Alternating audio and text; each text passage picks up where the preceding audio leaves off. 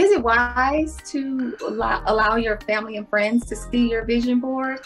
I I, I think it's okay. Uh, it's it's not a secret. I mean, your vision board should be a place where you can see it, and if it just so happens that you know other people are able to see that, um, it's okay.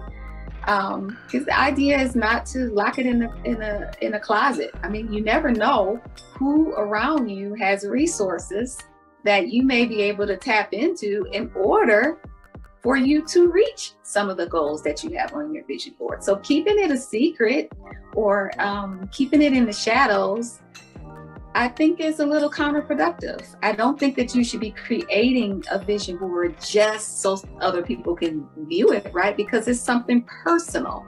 But I think that um, that it by making it visible by talking about it, you may open yourself up for opportunities that others may be able to, you know, uh, bring to you in order for you to achieve those particular goals.